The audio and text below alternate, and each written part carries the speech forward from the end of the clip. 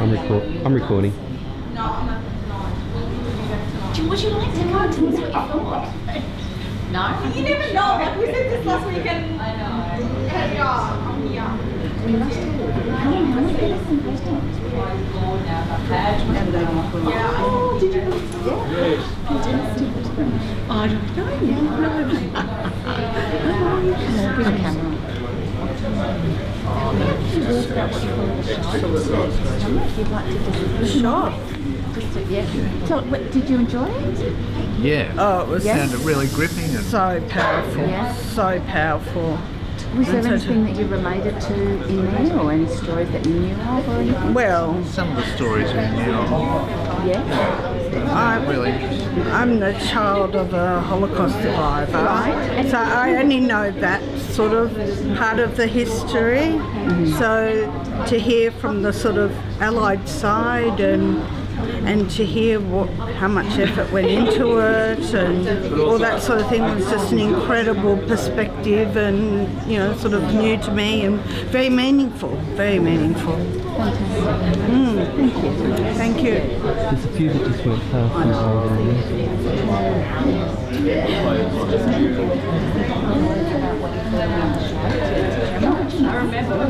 Fantastic. So, have you got any thoughts about when you were watching it, what you felt, or It was brilliant. Oh, yeah. Yeah, Mike was terrific. what, what part of it did you enjoy the most?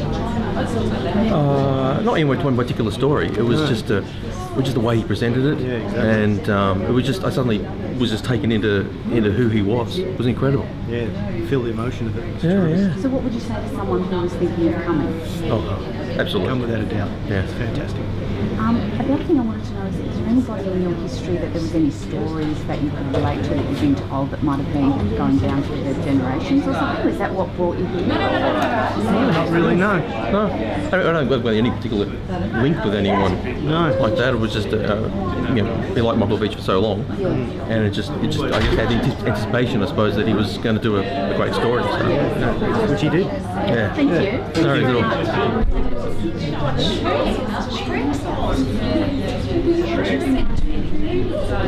your experience tonight and, and what you thought of the show. Well, we love the show. we love the show. yeah. And the director is just brilliant.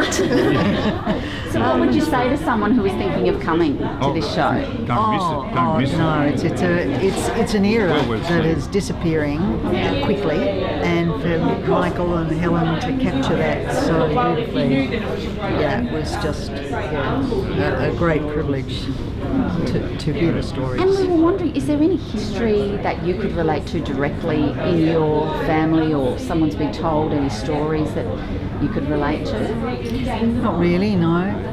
Dads were in the war, but they didn't really talk about their stories. So All right, thank you. It's relatable to today though, with what's happening. Um, so and and how you just people just do, you know, what they've sort of the duty is with it, but there's all these consequences that, as the one of the uh, the last men said. Uh, he thought about it later and he, he didn't want to do that. Uh, so that happens today. and the wars don't stop. Vietnam, Afghanistan, yeah, they don't stop. Sadly. It was very interesting to have those guys who actually was in the Oh, I audience know. today. I know that was, that was quite ones brilliant. They were. Um,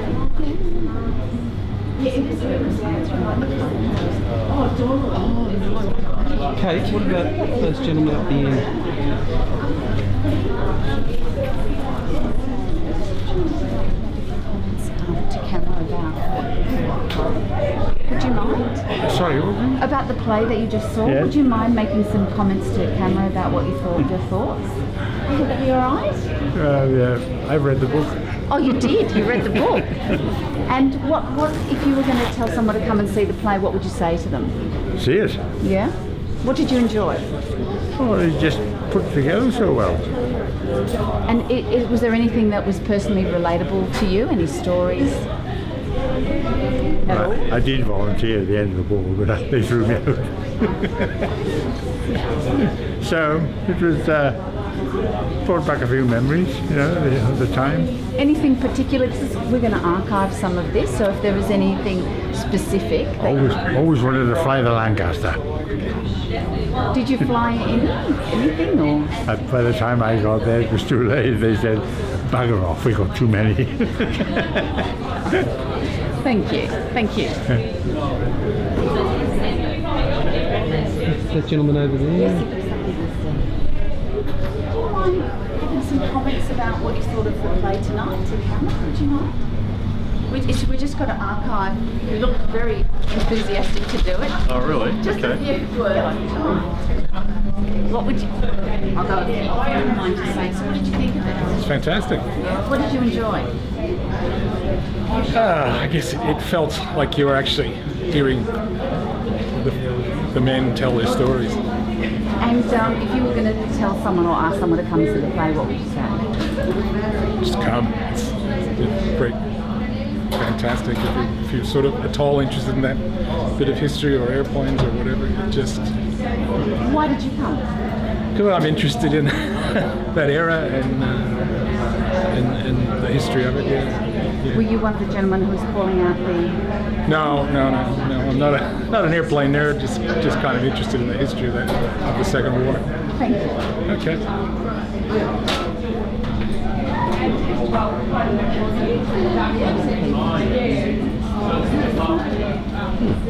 And, and the other thing is that an audience pulls out, you've got like seven minutes to, to get the lights on. It's an old 80s Yeah, well, two of them. One of them.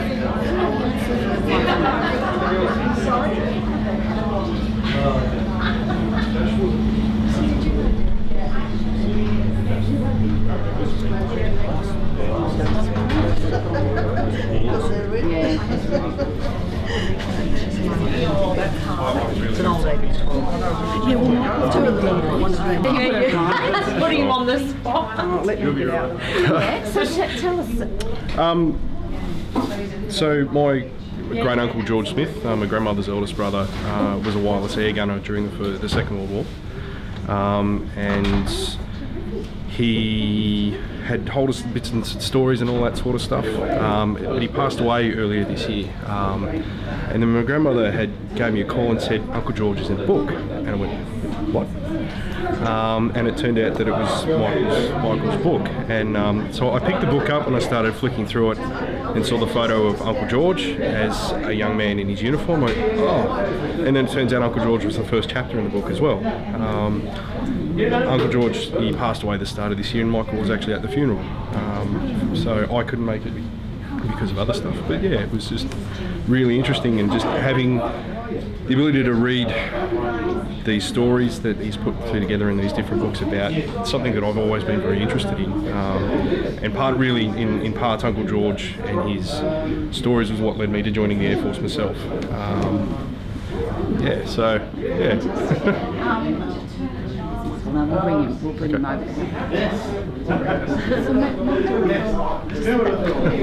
chatting. That came my phone. I'll take it down. It was the first one we did at Strasbourg. Really?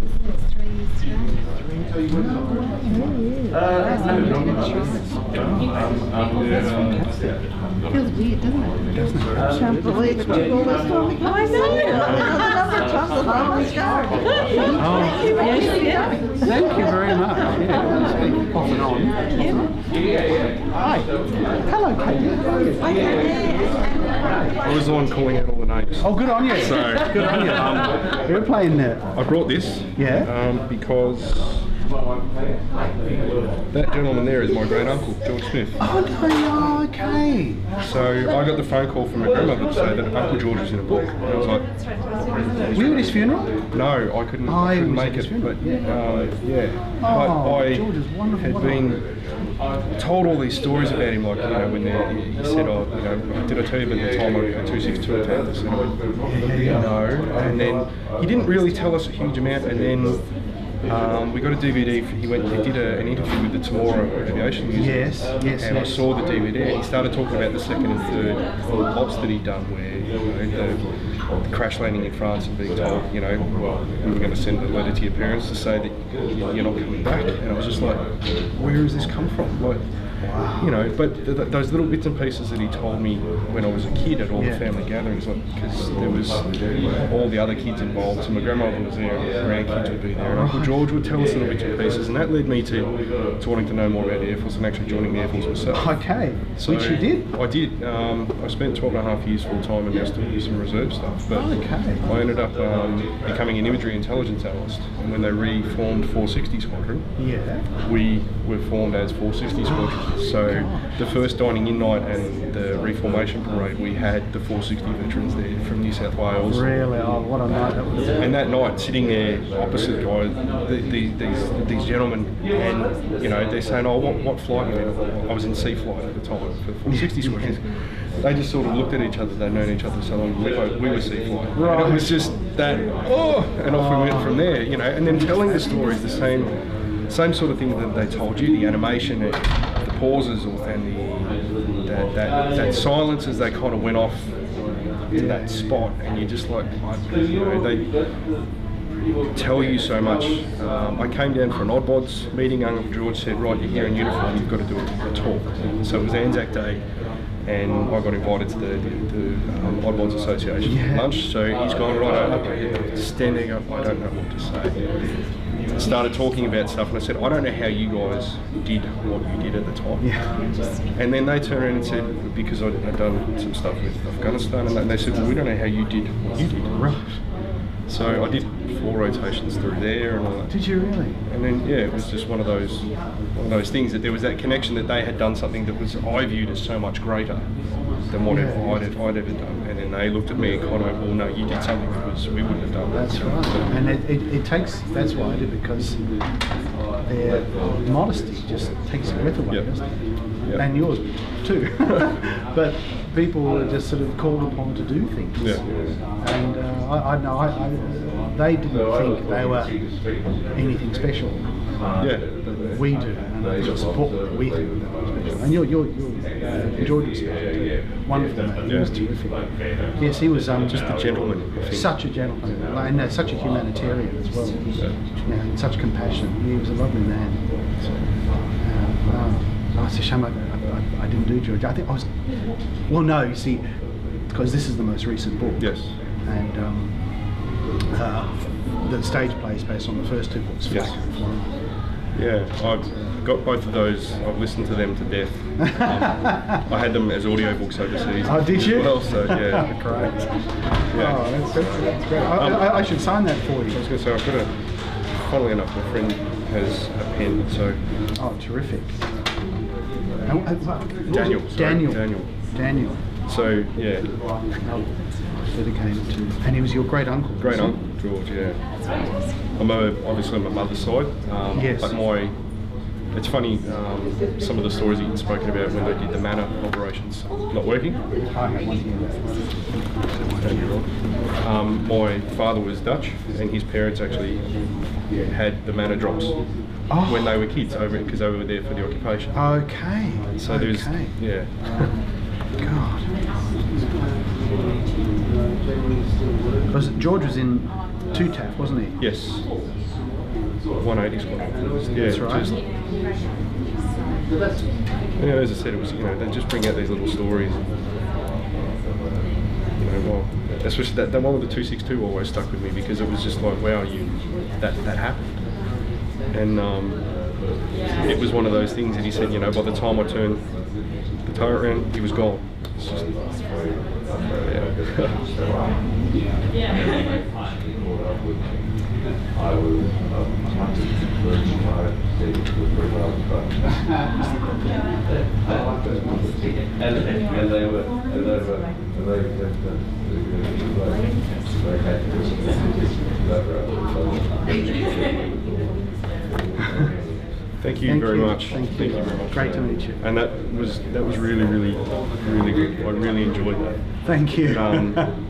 Thanks for the um, audience participation. that was really good. That's great. It's just yeah, I, I suppose there's a fella up above Yeah, head. It's yeah. not yeah.